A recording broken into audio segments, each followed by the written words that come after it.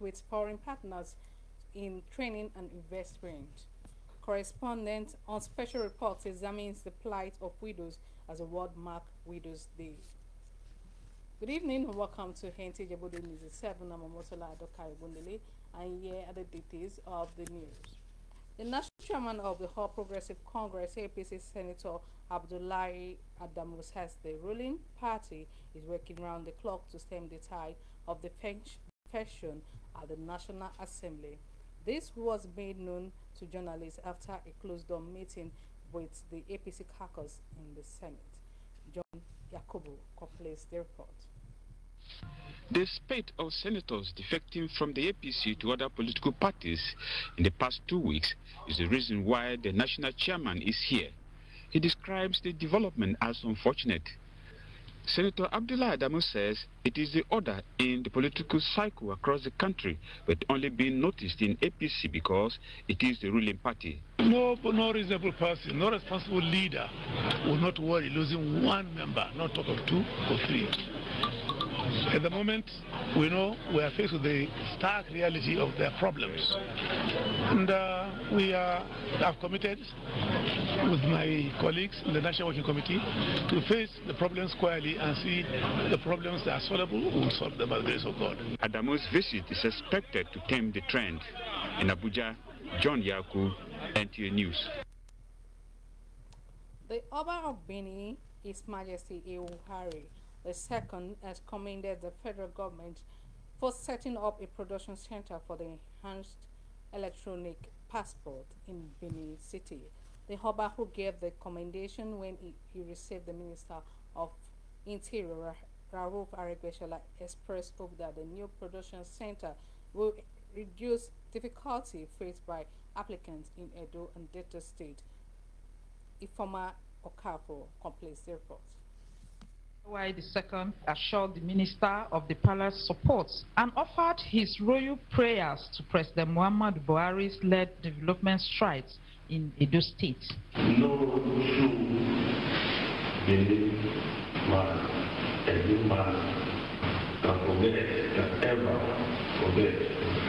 what this president did for his kingdom.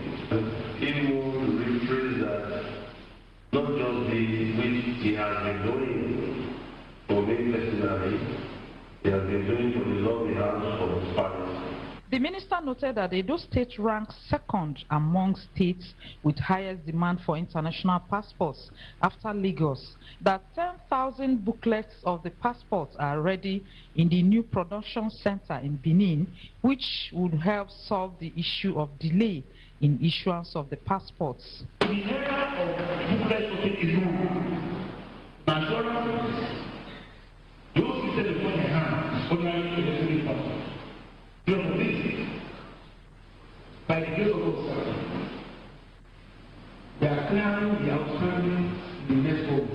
advised Nigerians to desist from patronizing what he described as middlemen. In Benin, Ifeoma Okafor, NTA News. And next on the report, one of the key drivers of the nation's aviation industry is expanding, is, is expanding its tentacles with a partnership with Miami-Dade County. The move will boost trade with tourism and transportation in the country. The report. Millions of miles apart, with different cultures and terrains, Nigeria and Miami-Dade County have found common interest in the aviation space. The numerous potentials in the Nigerian aviation sector attracted key players from Miami-Dade County, this mind-rubbing meeting between experts from the Federal Airports Authority of Nigeria and a delegation from Miami-Dade County, the most populous county in the state of Florida, is all about collaboration. FAAN has in a number of ways explored non-aeronautical modes of revenue generation and is consistently seeking new avenues for expansion instead of depending mainly on aeronautical sources of revenue. the collaboration is for us to uh, reciprocate in growing our own uh, business opportunity here, especially in the aviation industry. Beyond the airports, impact of this partnership is expected to be felt in the tourism and hospitality sectors, which will boost economies of both parties. We are here to continue to build on the friendship and to foster even closer ties between our international trade communities and to foster cultural exchanges and educational exchanges as well. Hopefully within the next week, months, or year, we'll be able to have a direct flight from Nigeria, perhaps Lagos or Abuja to the United States, something that is exceptionally needed. Intentions have been made known, ideas exchanged, some agreements reached. Nigerians are eagerly awaiting implementation. You're still watching the news. You stay with us as we go in a break.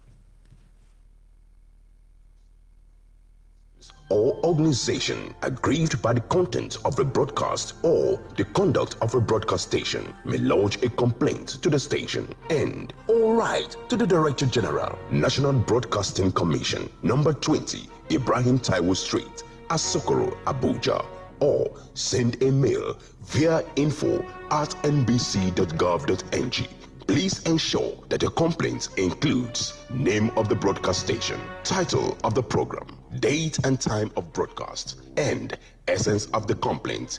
Also, remember to include your name, address, telephone number, email, and append your signature. Note that a complaint must reach the NBC within 14 days of the queried broadcast. NBC, your right to quality broadcasting.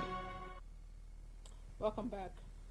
In an era of depreciating life expectancy, attaining the diamond jubilee age of 60 is no doubt a remarkable feat of, worthy of celebration and gratitude to God. It was for this reason that Dr. Taiwo and Mr. Kehinde Afolabi rode out the drums to celebrate God's faithfulness on their 60th birthday. Correspondent Bunmi Oni was part of the service at the new newly built Samson Afolabi Anglican Church, Luba Road, Ijebuode, by the celebrants to honor God for witnessing this glorious day. The reports. For the celebrants, Dr. Taiwo and Mr. Kennedy Afolabi, it has been 60 years of unprecedented achievement that calls across business and family life. The Thanksgiving service at the newly built Samson Afolabi Anglican Church, Luba Road, by the celebrants is to return all glory to God for his benevolence. The service, which was conducted by Very Reverend Peter Rotimi Oludipe, the Bishop of the Ijebu Anglican Diocese and other clerics in the Anglican Communion, had in attendance the cream de la cream of the society. Among others are Chief Olusegun Obasanjo, Governor of Ogun State Prince Dapo Abiodun, Yeye Olufunsho Amosun, Otumba Gbenga Daniel, the Oni of Ife Ọba Adéyẹyè Ògúnwùsì, Olúwo of Iwo Ọba Abdulrasheed Akanbi. In a sermon which was hinged on one life, Very Reverend Rotimi Oludipe congratulated the celebrants on their attainment of the Diamond Age of 60, urging them to continue to make positive impacts in the lives of people. Right Reverend Rotimi Oludipe noted that the celebrants have made tremendous impact in the service of God and humanity, describing them as a worthy role that can be emulated. He therefore prayed for God's interrupted favor and protection on the celebrants and their family. The church joined the celebrants and their families in the special 60th birthday Thanksgiving, after which birthday song was sung for them.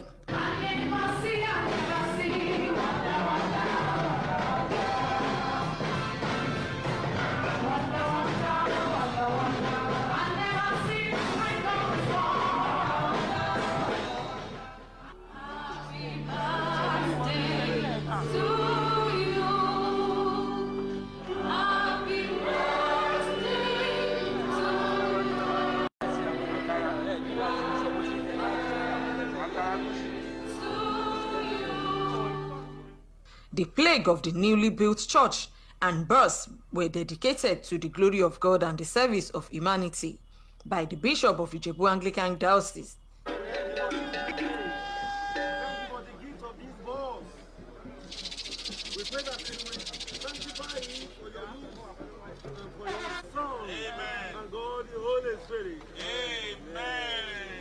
After which the newly built family house, which was in the same premises of the church, was also dedicated. Dignitaries at the event wished the celebrants well and also prayed for them. I pray that God Almighty continues to answer their prayers and grant the desires of their hearts. I pray that God Almighty allows them to reap the fruits of their hard labor, allows them to live to see their great grandchildren all in good health and in Jesus' mighty name. Well, a great man, very hardworking. We're very proud of what he has achieved. And at 60, we can only wish him the best of health, bigger, greater success ahead. I think for him, the best is yet to come. For one of the twins and his wife, the Lord has been merciful to them. When you are hardworking, God Almighty will give you support. And it's only Him, no other person. You have to be hardworking. You don't have to be lazy a wonderful friend, a wonderful partner, a wonderful in every aspect of life. He has been there for us. He's our mentor. He's our daddy. He's our law. He's everything to us. The A5 Grand Hall was lit up to entertain friends and well-wishers of the celebrants, where guests were treated to sumptuous delicacies. Family members and loved ones showered encomiums on the celebrants. He believes in God, relies on God, and trusts God explicitly. It's a man that I know that stands only by grace and mercy of God. It's somebody that we, we look up to and we would love to, to be like him one day. Merry Mess continues with live play from a well-known live band.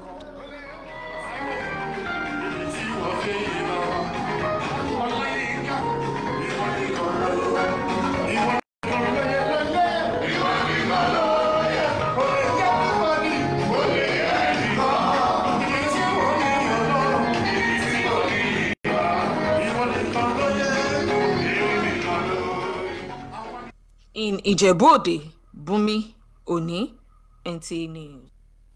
Congratulations to the celebrants.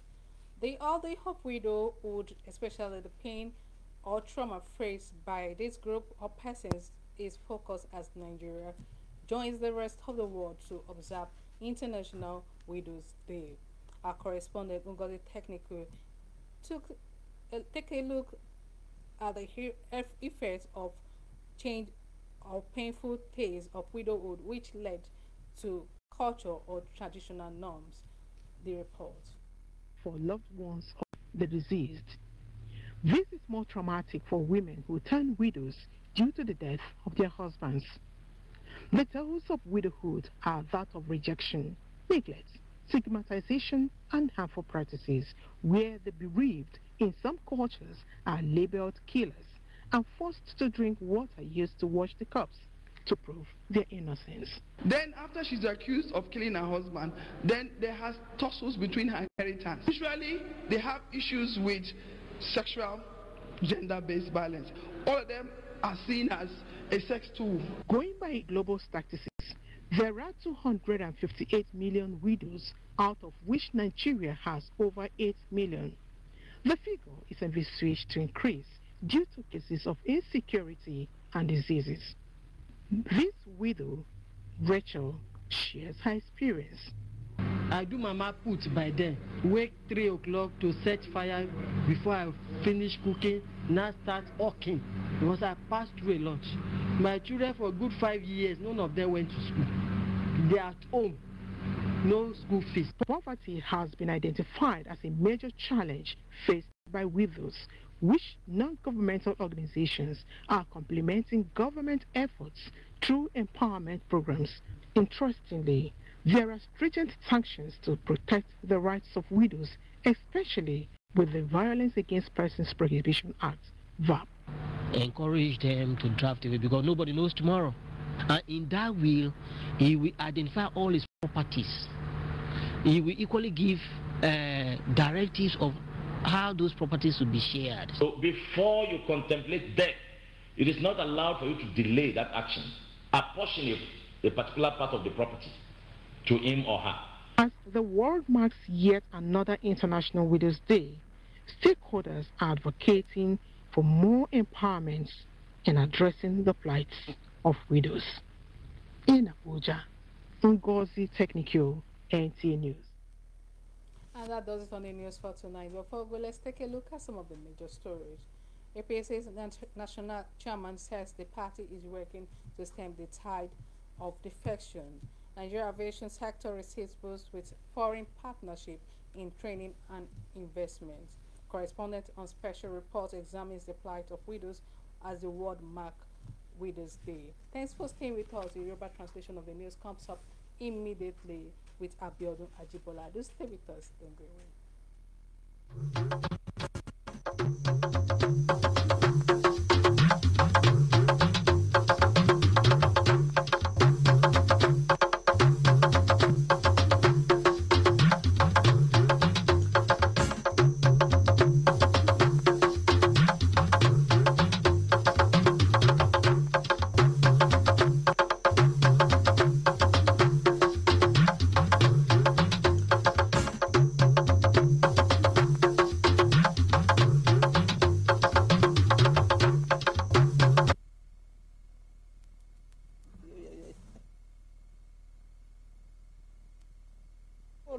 Ti àṣálẹ́ òní alága pátá fún ẹgbẹ́ òṣèlú apc ti ṣàlàyé pé ẹgbẹ́ náà ti ń ṣiṣẹ́ takuntakun dé ilé aṣòfin. Àwọn òṣìṣẹ́ ojú òfurufú ti ṣe ìfọwọ́sowọ́pọ̀ pẹ̀lú àjọ olókòwò ilẹ̀ òkèèrè. Akọ̀ròyìn bójú wo ìrora ọkàn àwọn opó gẹ́gẹ́ bí wọ́n ti ṣe ń ṣe àyájọ́ ọjọ́ wọn lágbàáyé. Ẹ̀ka alẹ́ ìsìnkú iṣẹ́ òní. Ìròyìn tàṣálẹ́ òǹdè láti iléeṣẹ́ nt jẹ̀bọ́dé ìkànnì alárágbà yìí dá abiodun ajibola lóníròyìn yìí. Alága pátá fún ẹgbẹ́ òṣèlú apc ìyẹn sẹ́nitọ́ abdullahi adamu ti ṣàlàyé pé ẹgbẹ́ òṣèlú náà ti ṣiṣẹ́ takuntakun. Dé ilé-ìgbìmọ̀ aṣòfin sẹ́nitọ́ adamu fi ọ̀rọ̀ yìí tó àwọn oníròyìn létí lẹ́yìn ìpàdé àtìlẹ̀kùnmórí rẹ̀ ṣe pẹ̀lú àwọn sẹ́nitọ́ akẹgbẹ́ rẹ̀. John yakubu ló jábọ̀ ìròyìn.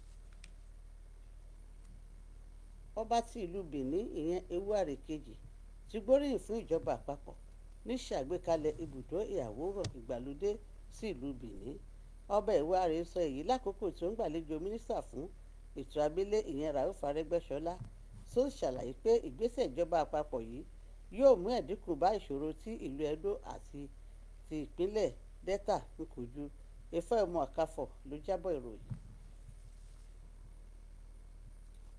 ohun kan gbòógì èyí tó ṣe pàtàkì nílé iṣẹ́ àwọn òṣìṣẹ́ ojú òfurufú ni láti ṣe àmúgbòòrò ìfọwọ́sowọ́pọ̀ pẹ̀lú ilẹ̀ òkèèrè kí èyí lè túbọ̀ mú ìlọsíwájú bá okòwò àti ìgbòkègbodò ọkọ̀ ní orílẹ̀-èdè yìí. ní báyìí a ó dá dúró díẹ̀ fún ọ̀rọ̀ ṣètì ráńpẹ́ ròyìn ṣe tẹ̀síwájú.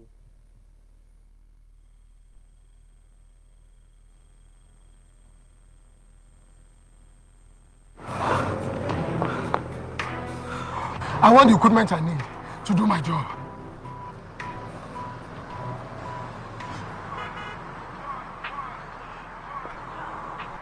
I want a police that won't harass or arrest me for no just reason.